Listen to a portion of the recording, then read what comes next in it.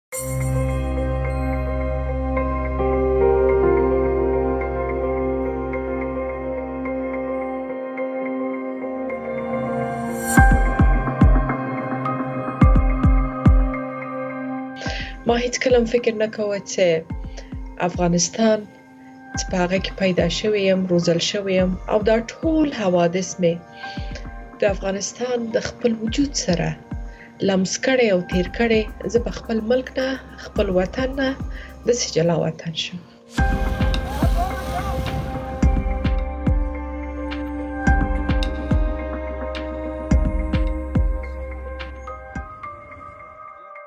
په اولین ساتو کې چې طالبان کابل ونیو ماته یې ما عکسونه راولېږل څه چې مبارک هم شه دا دی تاسو پر کور باندې اولین قبضه د دوی وه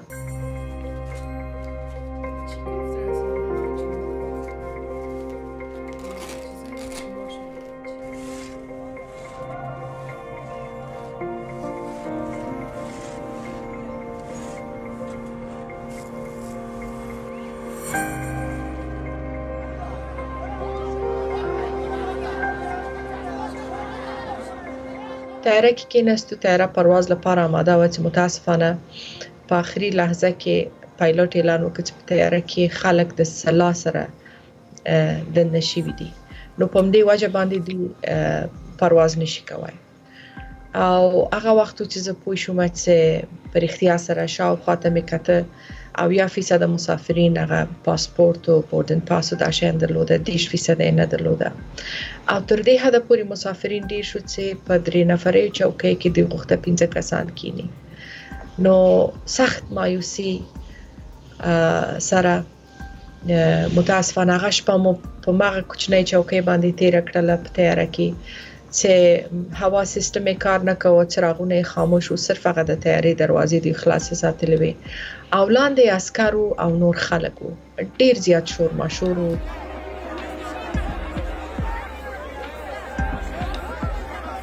د امریکایي عسكر په مخ کې یعنی نیم متر فاصله منګاغې نه درلوده په قنداقو وهل شو او مرمۍ په موږ باندې تیرې شولې سربېره پر دې چې دوی مداخله ونه کړه متاسفانه دوی هم فایرونه شروع کړ هوایي فایرونه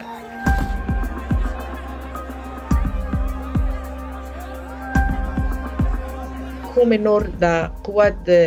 قدم اخیستو له لاسه ورکړي وو پښې مې زخمی او ژوبلې شوې وي نو په کوم شکل باندې چې زه میدان ووتم هر یو چې به رایل دا فکر کاوه چې یو سل کلنه خزه د په لار باندې نشي تلای سربیر پر دې چې متفاوت جامې مې اغوستې وي او د څه خبره درې ټیکرای مې په سر وو په هر صورت باندې ووتم او تر هغه ځای پورې چې مونږ ته پناه راکړله څلور موټر مونږ په لار کې تبدیل کړ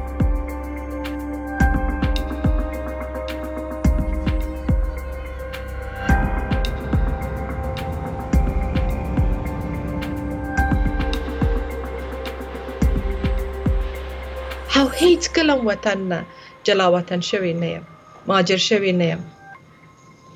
تازه دی مګر ډیر درد لرم ډیر درد لرم تکل صاحب اوس پیغام چې بی وطنی یعنی بی هویتی ده او هغه چې په دغه رقم سور اور باندې وطن سوځي